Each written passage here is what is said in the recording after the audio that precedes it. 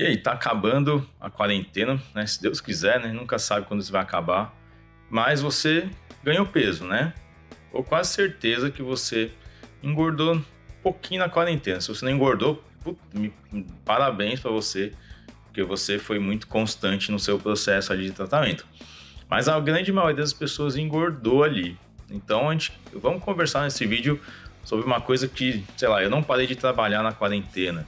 Não deixei de atender ninguém na quarentena, nem que seja online ou presencial. Fui para o consultório. E eu vi que a maioria, muitas pessoas, ganhou muita gordura, tá? E tem um motivo muito especial, eh, alguns, né? Mas o mais especial eu vou citar aqui, tá bom? Então fica ligado aí, vamos conversar nesse vídeo. Você viu, eu tô com um esteto hoje, uh, só para fazer né, uma graça aqui, porque eu tô dentro de casa, tô gravando, mas resolvi pegar o esteto e tirar umas fotos ali e aí tocou isso aqui, né? Para pagar de médico hoje aqui. Né? Mas vamos lá. Uh, eu vou tirar, né? Chega, né? Chega de brincadeira. Uh, Covid e ganho de gordura.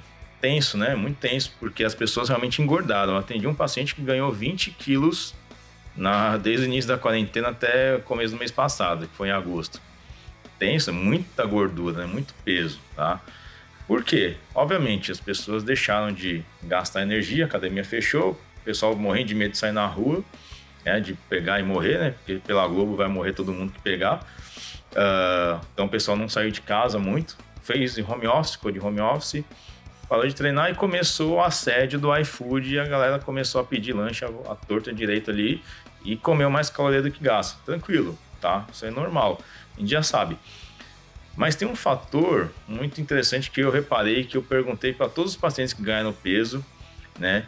Que foi a mudança do padrão de sono dessas pessoas. Esses pacientes mudaram muito o padrão de dormir. Começaram que a dormir mais tarde, né? A uma exposição a telas, né? De celular, computador, né? Porque o home office estende até tarde, então tá lá com o notebook lá aberto, fechou, vai para cama deitar ou tá com tempo mais livre, resolveu o home office e fica vendo Netflix ali na TV até a hora de dormir ou dorme vendo TV.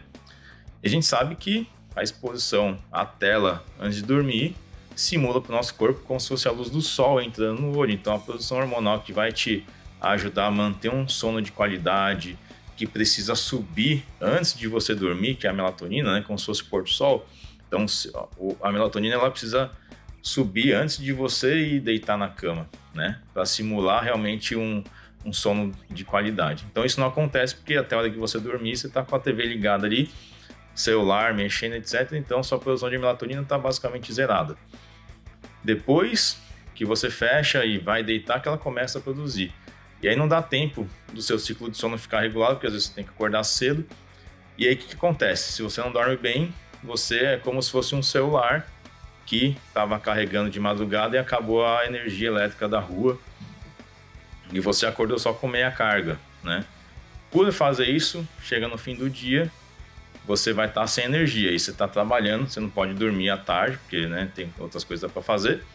E aí o corpo ele não é besta, ele vai buscar fontes calóricas e de prazer também na comida para suprir essa falta de energia que você não carregou enquanto estava dormindo. E aí complica, porque daí você vai comer o que? Coisas super calóricas e saborosas. Doce, fritura, pastel, coxinha, chocolate, bolo, etc. Que são porções até relativamente pequenas, cheias de caloria e que são de fácil digestão. Então você vai comer, entrar muita caloria que não vai encher sua barriga, duas horas depois você vai estar com fome de novo, aí você vai jantar. Quando vê, você está comendo mil, quinhentas, é, mil, 700, 800 calorias a mais do que você gastou no dia. Repete isso todos os dias por quatro meses de quarentena, pronto, engordou um monte, tá? Então, ainda bem que a quarentena está acabando, mas às vezes o estrago já foi grande. Devia ter gravado esse vídeo antes, né, para vocês. Mas tudo bem, fique esse alerta porque isso serve também para a vida normal sem quarentena, tá bom? Durma bem, durma bem. Esse é um dos, um dos principais pilares, se não for o, meu, o principal pilar, é para controle do peso, tá? Tanto para emagrecer quanto para não engordar, tá? Durma bem, que no dia seguinte você vai ter menos fome, beleza? Fica essa dica aí. Se você passou por isso na quarentena, não precisa contar para mim quantos que você ganhou, tá? Mas conta aqui embaixo se o que eu falei bateu com o que está acontecendo com você aí, tá? Se o não estiver ruim, dá um toque aqui para mim aqui no comentário e fala comigo, beleza? Vamos te ajudar também, beleza? Um abraço e até o próximo vídeo.